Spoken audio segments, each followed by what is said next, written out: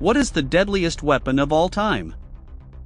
Some people might think it is a tank, because of their unstoppable nature, but they're wrong. In terms of the capability for destruction and death of these weapons, a Tsar Bomba would come first.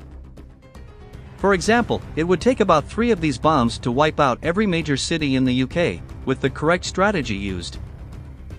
However, only two Tsar Bombas were ever built due to the size of this bomb, which would have had to be dropped on its targets by very large, slow planes, which could easily be intercepted by any capable air force. So now you know.